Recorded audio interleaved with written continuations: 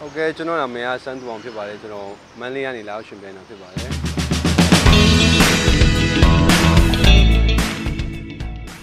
အာခက်ခဲတော့တိတ်တော့မရှိပါဘူးဘာလို့လဲဆိုတော့ဒါကျွန်တော်ဝါနာပါတဲ့အလုပ်ဖြစ်တဲ့အတွက်ကြောင့်ဒီလုပ်လုပ်နေရရင်ကျွန်တော်ပျော်တယ်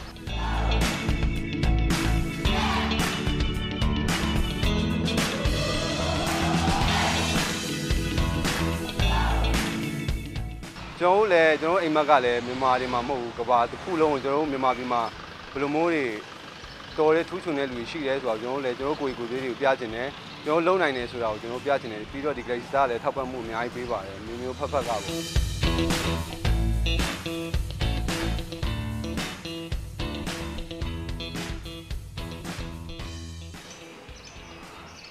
ီ star fan တွေကိုဗာပြောချင်တယ်ဆိုတော့ဆက်လက်အားပေးပါကျွန်တော်တို့ အစွမ်းရှိသမျှကျွန်တော်တို့တက်နိုင်သမျှကျွန်တော်တို့အဲမှာရှိနေတဲ့နှလုံးသားတွေကလာတဲ့ဒီလုံးတွေကျွန်တော်တို့ခံစားမှုတွေပေါင်းဆက်ပြီးမှပိတ်သက်တွေကိုအာအမြင်အသစ်လေးတွေကျွန်တော်တို့အများကြီးစူးစမ်းမှကျွန်တော်တို့လုပ်ထားပါတယ်ဒါကြောင့်အားပေးပါ Great Star Fighting